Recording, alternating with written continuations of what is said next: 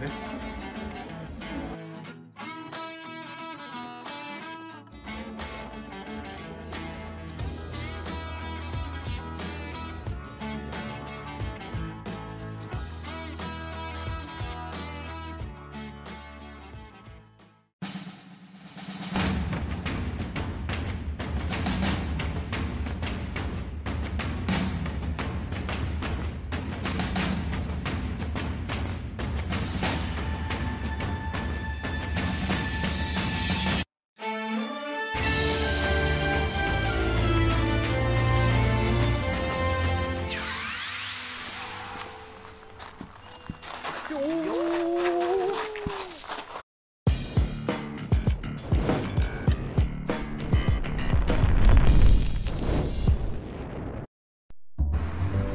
というわけで、えー今日始まりました。えーとですね今日はですねこのスープカレーのお店に来ました。この倉田交差点にあるスープカレーのお店なんですけどで今日ちょっとねあのー辛いのが全然いける感じのちょっとヤンキーを。そ れでまあ前回もね出たんですけども。あどうぞよろしくお願いします。よろしくお願いします。はい。というわけで今日はちょっと入っていきます。そうですね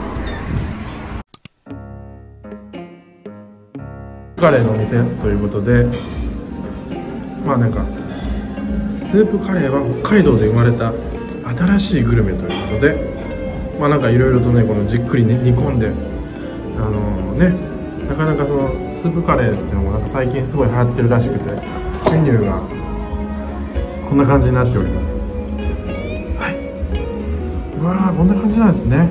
でこれね前もなんか言ってたんですよ。辛さが選べて。1からさっきも言ったんですけど100までって聞いたんですけど実際は1000ぐらいまであるっていうことででも美味しくいただけるのはもう本当にこのもう何ですかね車のメーターじゃないですけど安全運転のなんか大体この 30ぐらい、えーからということでうん、まあ、つわものはなんか300とかいったりするらしいですけどもうこれもね毎日というか、ね、結構来られてる方がことでもう本当苦辛いの苦手な人も、ね、全然あのいけるという感じでありますけど。でもこれすごいですね。いろいろとなんかボリューミーな感じで。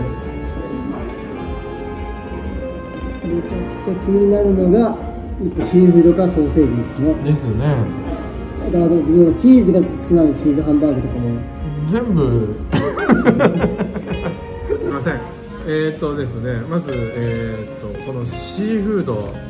ととこれをね60はい。えー、とハンバーグ、チーズハンバーグの60です。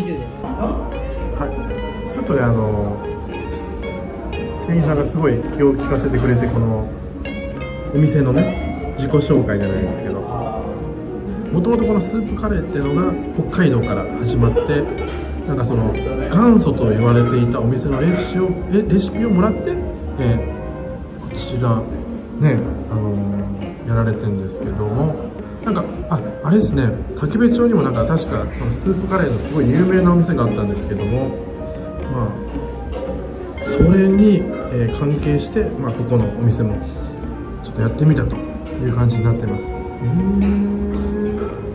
ちょっと面白いですねはいはい、ここでお知らせです。スピチューブインスタグラム始めました。ぜひチェックしてみてください。よろしくお願いします。こちらですあのシーフードのスープカレーですでこれちょっとねあとこれですねすごいなんかシナモンの匂いが香辛料の匂いがしますねこれが60からですね。見てくださいこれ。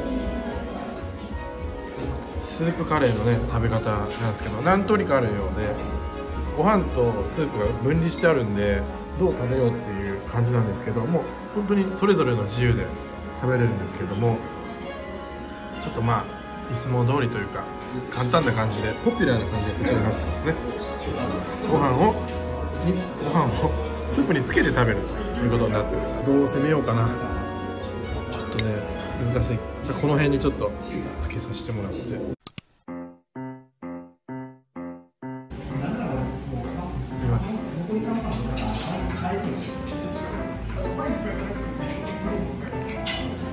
うん。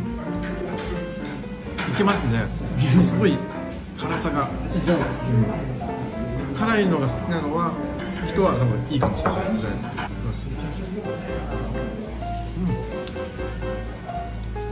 うまいこれ。これ新感覚だけど結構やみつきになりますこれ。うん。魚介の魚介というかこのシーフードの味がすごい染み渡りますね。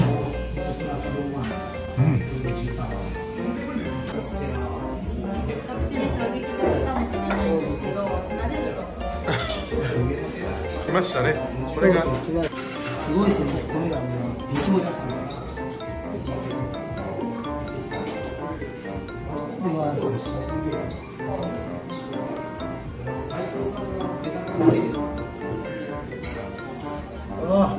辛いですか。すごいですあもう口か。らなくなっちゃい結構ボリューミーだねそうですブルーミーです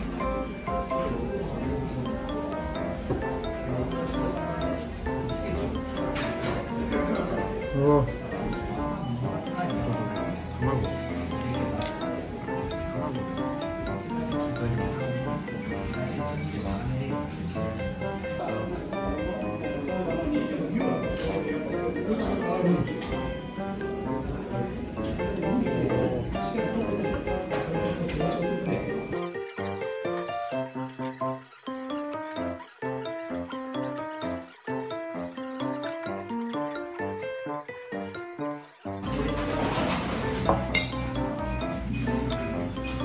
ましたはい、というわけでご視聴お疲れ様でした。えー今回はですね、岡山市長区江崎にありますスープカレーラマスパイスさんにね、お邪魔させていただきました。えーこちらのね、スープカレーは、えーとですね、北海道で生まれたということです。で、1から100までのね、辛さが選べるということなんですけども、実際は1000まであるということです。で、このね、辛さの調整は、えーほとんどね、塩を使わず、スパイスをを使って、えー辛さを調節しているそうなんです。で、まあそういうことなんで、その、辛くなればなるほど、そのスパイスの味というか、その、このスープカレーのね、味がしっかりしてくるかなと、えー感じましたね。で、えー一度食べたらね、まださらに次は、あのーさらに辛い、辛いね、スープカレー食べようかなっていう、えー感じにはなりますね。はい。というわけでまたね、あのーぜひ行ってみてください。火曜日がね、定休日になっておりまして、で、営業時間が、えー11時から、えー夜の20時までということになっています。ぜひぜひ行ってみてください。それでは失礼いたします。ありがとうございました。ラバンスピチューブ始めました普通では上げられない動画未編集の動画を主に上げてますぜひチャンネル登録よろしくお願いしますこの動画をいいと思ったらグッドボタン悪いと思ってもグッドボタンチャンネル登録もよろしく